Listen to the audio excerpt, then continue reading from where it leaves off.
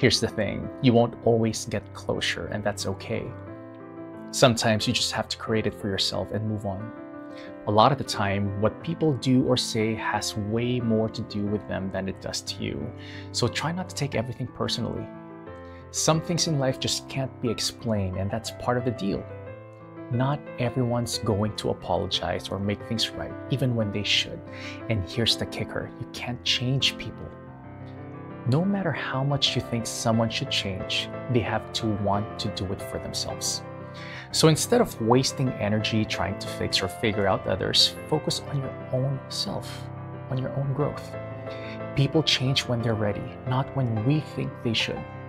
Accepting this will help you let go and move forward, making peace with things on your own terms.